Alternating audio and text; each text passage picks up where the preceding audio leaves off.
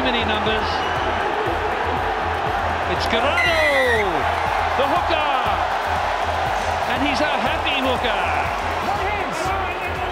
Can they get this ball back and over the line for the first score? That's Lamositele, and it's there. I think it's Tito Lamositele, the 19-year-old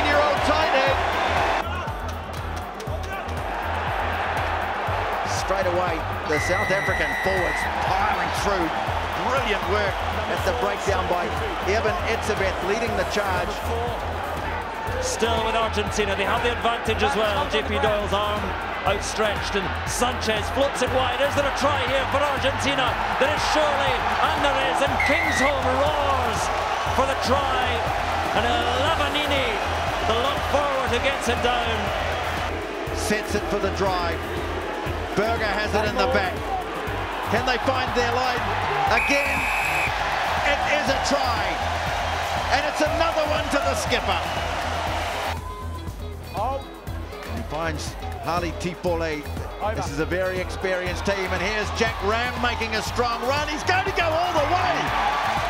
He's at the back with McMahon. He's looking for his second try.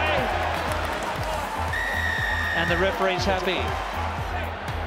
Slow down now, but it's not slowed down for Gareth Davies. Missed the try time, has done it again. Has he got the halfpenny distance here?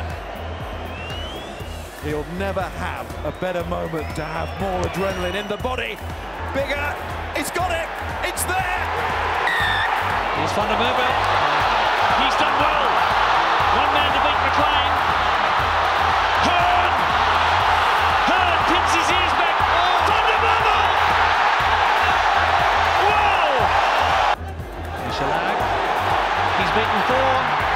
Early chance here.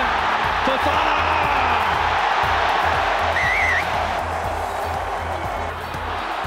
This is a fabulous burst from Cave, who's closing in on the try line. Let him go wide! Held up just short, pumps it away to Lambie, and Pietersen has a hat trick.